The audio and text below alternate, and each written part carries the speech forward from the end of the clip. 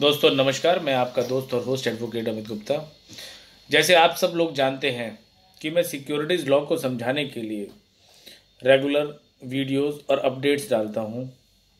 ये मेरा एक प्रयास है ताकि हर citizen of a country should be aware about their laws about their rights and duties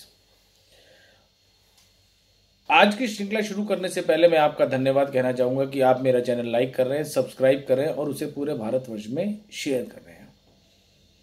लेकिन जैसे मैं हर बार गुजारिश करता हूँ, वही गुजारिश मैं आज कर रहा हूँ। फिर दोबारा से कि मेरा चैनल लाइक करें, सब्सक्राइब करें और शेयर करें।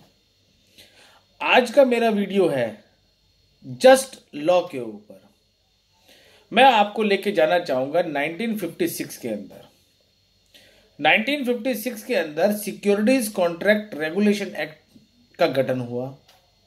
उसके सेक्शन नाइन की तरफ़ मैं आपको लेके चलूँगा, जहाँ पर स्टॉक एक्सचेंजेस को अपने बायलॉज बनाने का अधिकार दिया। जैसे मैं हर वीडियो में बताता हूँ कि स्टॉक एक्सचेंजेस के जो रूल्स एंड रेगुलेशंस है, ये स्टेचुटरी फ्लेवर के हैं। अब ये स्टेचुटरी फ्लेवर आया कहाँ से? ये आया मेरे पास एक्सचेंजेस के पास सिक्योरिटीज कॉन्ट्रैक्ट रेगुलेशन एक्ट 1956 से। उसके बाद 1992 में securities exchange board of India का एक्ट बनता है, जहाँ पर इन्वेस्टर्स का इंटरेस्ट प्रोटेक्ट करा जाता है और विभिन्न सर्कुलर्स और विभिन्न नोटिफिकेशंस जारी करे जाती हैं। लेकिन हर सर्कुलर और हर नोटिफिकेशन का जो असेंस है, जो बेस है, वो है to protect the interest of investors जब ये प्रियम्बल ऑफ़ सेबी भी क्या है, हर इन्वेस्टर की ताकत।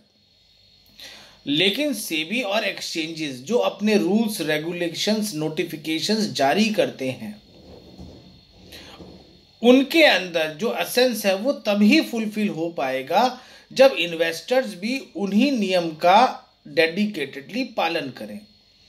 अगर इन्वेस्टर्स कुछ अपना गेन या नेग्लिजेंस के कारण उन रेगुलेशंस के, को ब्रीच करते हैं या ओवरलैप करते हैं तो कहीं ना कहीं वो एसेंस जो है, वो ब्रीच होता है। तो इन्वेस्टर्स को उसका जो राइट right है और जो अधिकार है वो नहीं मिल पाता।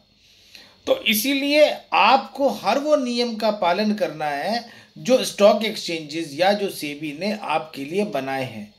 किसी भी तरीके का उसको बाईपास ना करें। बाकी किसी प्रकार की कोई समस्या हो, कोई जानकारी आप लेना चाहें तो बेझिझक मुझे व्हाट्सएप या मैसेज कर सकते हैं।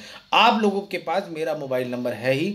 लेकिन मैं नए श्रोताओं के लिए, नए दर्शकों के लिए मैं दोबारा से अपना मोबाइल नंबर शेयर करता हूँ। मेरा मोबाइल नंबर है nine eight one zero double four zero four five nine. आपका दोस्त और होस्ट एडवोकेट अमित गुप्ता, नमस्कार।